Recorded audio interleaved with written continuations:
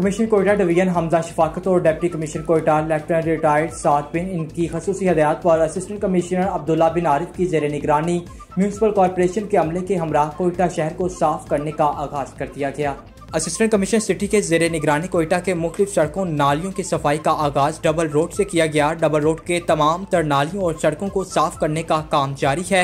Assistant commissioner city ने कहा कि कोयटा शहर हमारा मुश्तर घर है। इसे साफ़ रखना हमारी अवरीन ज़िम्मेदारी है।